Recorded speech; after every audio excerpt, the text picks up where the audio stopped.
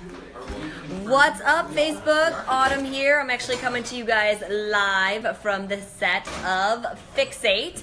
And I have some really fun big news. If you saw my social media post on Saturday, I let you guys know that after a little bit of uh, actually a long, a long two-year debate, three-year debate on what unsweetened almond milk should be counted as. It used to be counted as yellow.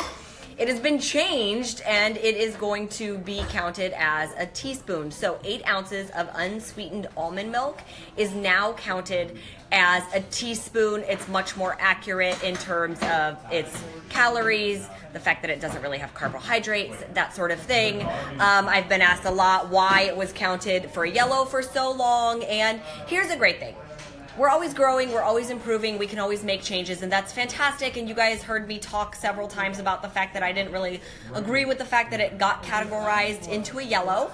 But I am not the nutritionist on staff, and we had a nutritionist on staff who felt that since it is a processed milk that we didn't want people to um, to drink it all the time and so that's how it ended up in the yellow container because that's sort of our treats and our cheats and that sort of thing but I wanted it to be much more accurate for all of you guys. So we have now done what we call Shakeology bases, meaning all of our different milk beverages that you might put in your Shakeology, and we've containerized them a little bit. Um, what I consider more accurately. So I'm telling you guys what they are right now. So first and foremost, the unsweetened almond milk, eight ounces of it is one teaspoon. I've got my little cheat sheet here. Then we have low fat milk. Eight ounces of low fat milk is going to be one yellow and half of a teaspoon. Again, calories that's in there, protein, carbohydrates that's in there. That's why it gets categorized that way. So it's a much more accurate category to fall into. So that was um, that was low fat milk, one to two percent. Unsweetened soy milk, eight ounces, is now going to count as half of a red. Unsweetened coconut milk, eight ounces, is one teaspoon. Unsweetened rice milk, 8 ounces, is going to count as one yellow. And unsweetened coconut water, 8 ounces of that, is going to be half of a yellow. So those are all your milk beverages right there that could potentially go into your Shakeology and that sort of thing. And those are the new containers. Things will start to get updated in recipes and that sort of thing. But bear with us because obviously uh, we've been putting out recipes for a long time on the blog and the show and that sort of thing. And uh, so we will be updating that kind of stuff. But there it is.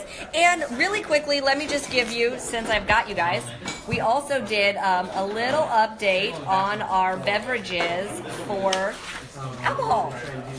So obviously you guys know wine is a yellow. So five ounces of wine is one yellow. A 12 ounce light beer is one yellow. A 12 ounce regular beer is one and a half yellows.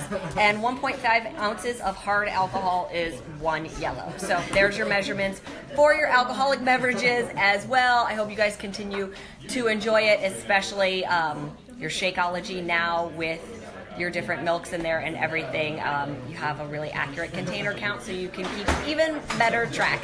All right, I am going to get back to set, get touched up, and get ready to make some delicious food. I'll see you guys next time. Bye.